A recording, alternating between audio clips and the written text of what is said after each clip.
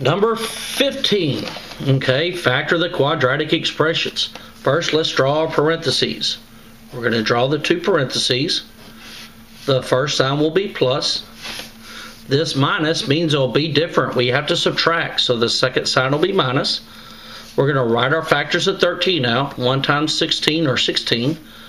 2 times 8. 3 won't go into 16, but 4 will. Remember to get the factors, you're going to make a loop of numbers. Then we have 3x squared. The only factors of 3 are 1 and 3. You draw two blanks. On this problem, we won't add the products, we'll subtract and get 2.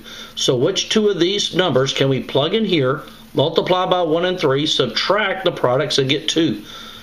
Take your time. You're going to use the 8 and the 2. So you'll put the 8 by the 1 and the 2 by the 3. 1 times 8 is 8. 3 times 2 is 6. Draw your X. Which one's larger, 8 or 6? The 8's larger, so the 3x and 8 go first. And the 1x and 2, or x and 2, go last. Okay, on the next one, draw two parentheses. Drop your minus sign. This means different, so they're going to be a minus and a plus. Write the factors of 15 down. 1 times 15. 2 won't go into 15, but 3 will. Write the factors of 4 down. One set of factors of 4 are 1 and 4. But you also have 2 and 2. Remember, the more factors, the more combinations. We need to subtract and get 4. So we're going to use one set of these factors, multiply by 2 and 2, or 1 and 4, subtract the products, and get 4. Which ones would work? You're going to use the 5 and 3. Remember, you usually don't use that first one. So we're going to use 5 and 3 and use the 2's.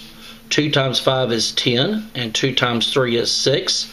10 is larger, draw your x. So the 2x and 5 go first, the 2x and 3 go second. So we're going to put 2x and 5 first, and 2x and 3 second. If you multiply that out, you would get the 4x squared minus 4x minus 15. We're almost done. Draw your two parentheses. Drop the first sign. This means they're different, so draw a minus. Write your factors of 22 down. 1 times 22 and 2 times 11. Draw your 1 and 2 factor here. Put two blanks.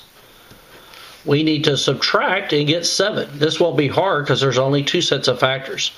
You're going to put the 11 here and 2 here. 1 times 11 is 11.